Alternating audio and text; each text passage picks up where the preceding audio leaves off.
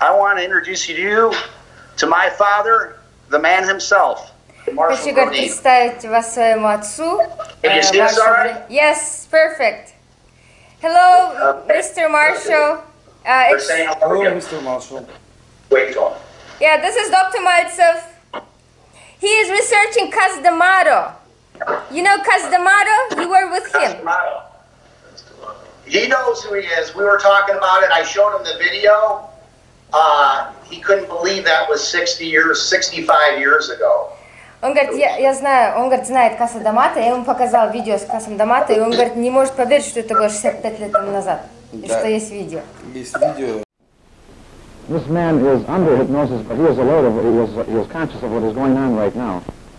Now, Marshal uh, Brodien has further demonstrations of his own to further carry and emphasize the point, and I think that uh, you may have something more tonight. Change this letter from.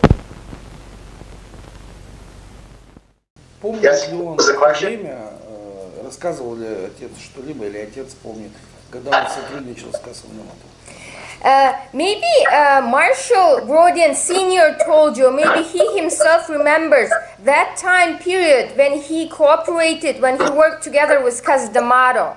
Anything about that thing?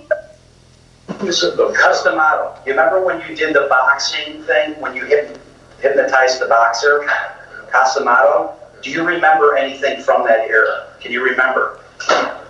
Where, where were you in Las Vegas, right? You were in Las Vegas? I did, I wasn't. And you, and you had the whole audience in, in stir crazy. You had everybody with their mouths dropped. If you look at the video, you know, Dad, how did you perform such an act with Cus D'Amato? Did you did you know that this would all work out? Coming up there Yeah. So he said they would come up, and I would just do it, and I would just hypnotize them. That's what he just he just said that. He goes, mm-hmm. you know, and that's where, where my dad really steps in. Он спросил своего отца. Папа, ты был с Касом Дамато в Лас-Вегасе? Он сказал, да, в Лас-Вегасе. Э, Также он спросил вопрос, а как ты это все сделал? Он говорит, я просто гипнотизировал тех, кто мне подходил, людей на комиссии. Как они познакомились, спросил?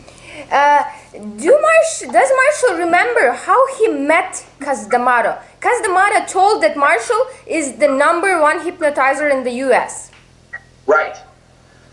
Dad, if you can think real hard, did you end up meeting Cus D'Amato when you did the performance hypnosis for the boxer in Vegas? How was it? You knew Cus D'Amato? Costamato, yes. Yeah, I know. The the trainer. The trainer. Like He, yeah, he was with him. I'm a huge fan. Oh, yeah. So, yeah, how did you meet him? How did you get to know him? Was it some? Was it an agent that had you go out there to do the hypnosis? Can you remember that? Was it? Oh, me, um, Huh? When you went to do the hypnosis show, where the you, where the boxer punched the guy in the stomach when you hypnotized him, how did you get that gig? how was I getting in? No, how did you get the gig? How did you get the show? Who booked you for the show? I don't remember. It was a big place. Could have been a big studio. Was it? But what was it? Las Vegas? When you were in Las Vegas, who who uh, who asked you to come out there to meet Cus D'Amato? Was it somebody in the magic field? It was a producer. Producer.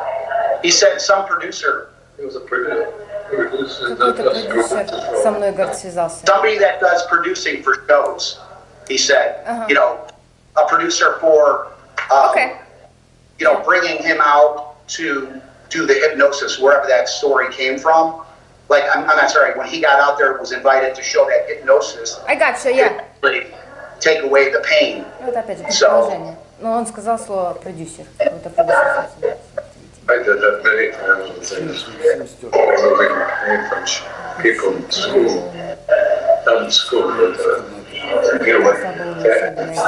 Именно вот одна и та же болезнь. Кевин Руни сам сказал, что это раньше. Вообще, что история памяти. Да. Маршал, out things about things you could forgot. Marshall Brodien Sr. is telling something. What's that? Marshall Brodien Sr. is telling something. He just told Oh, something. he was, he was talking about where he would actually, you know, do the hypnosis a lot. in that era. He was saying that, you know, when he worked his club, he would do hypnosis. He would do schools. You know, back in that day, he'd get, you know, uh, out there to do schools for hypnosis. And of course, as you saw in the video, when he did hypnosis, he would actually stand on top of a girl's body who was completely with her legs straight out. Yes. And I was actually looking into the fact, and I actually spoke to some friends that actually talked to my dad about that perform those performances. And I, I asked them, did, did he ever use a gimmick? Like, was there a special? There's chairs out there you can buy, magicians can buy, that makes it look like um, somebody's floating, and he did not. That was that was really under hypnosis. Mm-hmm. That was the that was the only time you say when the Marshall Brodien actually stepped on the person. No. My mom used to do shows with him too back in the day, years ago. And I think you did you ever hypnotize Judy? Your wife Judy back in the day? It was, a girl, but it was. Yeah, he said yeah, he, he, he did say he, he did. Okay, let me translate that. Я просто спросила, говорю, что-то отец говорил. Ну, отец сказал, что он в то время много гипно, ну, гипнотизировал, школу гипнотизировал. И говорит, вот то, что над нами он как бы вставал на человека, который под гипнозом был, он говорит, ну это на самом деле она была под гипнозом.